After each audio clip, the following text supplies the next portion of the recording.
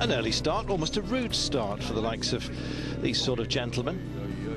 They're used to being treated an awful lot better than this. Ari Vatanen. He's just um, come to terms with the fact that he's not going to be anywhere near the podium in this Dakar. And they all had to get involved with the clean-up operation themselves, just like the bikers. Well, being asked if he's got any spare fluid to uh, clean everything out there. Well, they've got the, of the numbers sorted. And look at this, Hansel says it's impressive. Never seen anything like it before.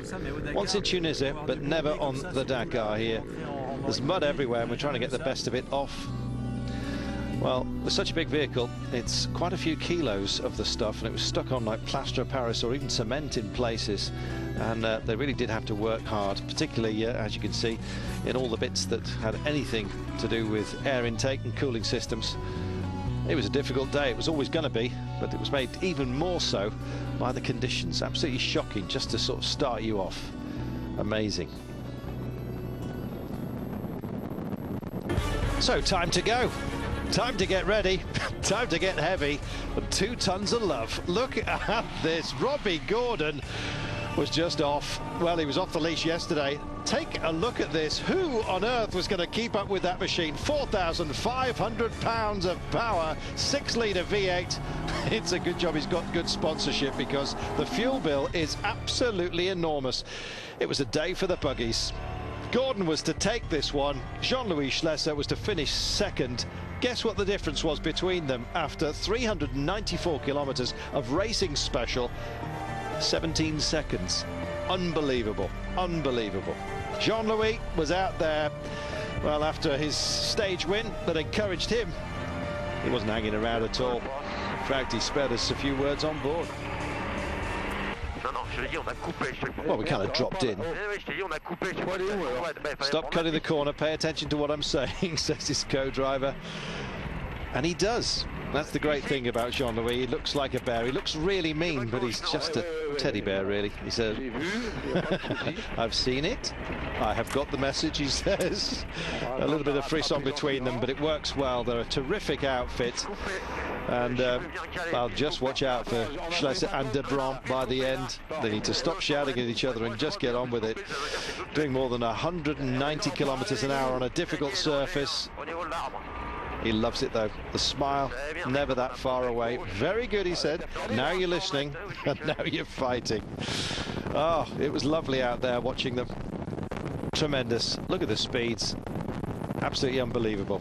Well, the sandstorm had stopped, thank goodness, because uh, it can, at high speed, actually put a frost on the windows, would you believe? There you go. Giniel de Villiers, he's not out of it yet. Uh, he's in. Uh, he, he's still in second place, don't forget, behind Carlos Sainz overall and trails him by just 3 minutes and 11. He wanted to put a lot of space between himself and uh, Sainz, if at all possible. Co-driver Dirk von Zitzewitz knows the terrain well. This is Carlos Sainz, though, and he was taking it uh, by his own standards quite steadily today. Loves this technical stuff. When it gets wide open, seems to be happier there as well. Main concern for Sainz is other VWs. Finished fourth today. The gap has been closed by De Villiers, who finished ahead of him, but Sainz was just behind and stays leader overall. Wow. Carlos Sainz. Try keeping up with that. Well, the man who was trying his best was Peterhansel. PH, and he's got the PH balance absolutely bag on. Only losing 32 seconds to the Spaniard today. That's how hard Peterhansel was pushing. Finished fifth. Fifth in the overall standings. He's the best of, the Mitsubishis. Or at least he was today. Alphand still ahead of him in the overall ranking. Nasser Al on board his BMW. He was uh, quickest on a number of uh, spots. Was looking handy. Six he finished today. 10th overall. You had to watch it out there, though. It was a little bit scary and hairy.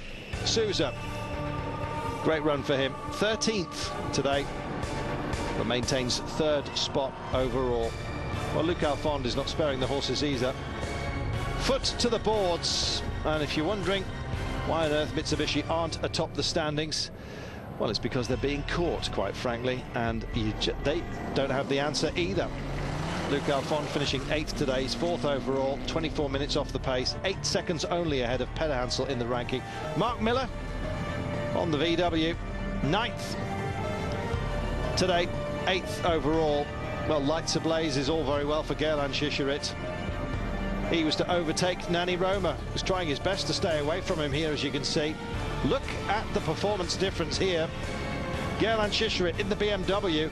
Maybe he was going just a bit too fast because Vatanen has already told you what happened to him when he hit the bumpy stuff. It wasn't pretty. And thank goodness he was all right. Ari Vatanen, the gentleman, first to him, helped him out, calmed him down, just uh, taking some of the shock away from him. That's what Vatanen was talking about. It was end over end, as you can see, nothing wrong with the side panels. Well, Holowczyc having a much more pleasant time of things in the Nissan. Finished 10th today, 18th overall. Nissan certainly not out of this Dakar. Very much a part of it. Here's Hiroshi Masuoka, later on today, he was seen to be arguing with team officials and mechanics. Don't know what his complaints are, but he's had so much ill fortune in this rally. If he's not punctious, it seems to be mechanical. Some other obstacles you've got to watch out for as well.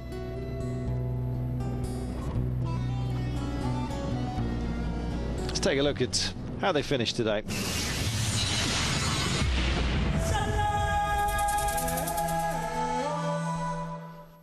Unbelievable. Robby Gordon doing the business. Home in less than three hours. Amazing. Schlesser just 17 seconds behind him, ahead of De Villiers, Sainz and Peterhansel. It's pretty much the same overall with Sainz still in the lead. The Hummer's been running good the whole time. Uh, we just got some bad gas and we lost three hours. Uh, we did a lot of testing over the winter time and we felt this stage right here, if we could run with these guys here, uh, we'd be able to win the rally. So it's just a disappointment that we lost that three hours, but we'll see what happens. Long ways to go still.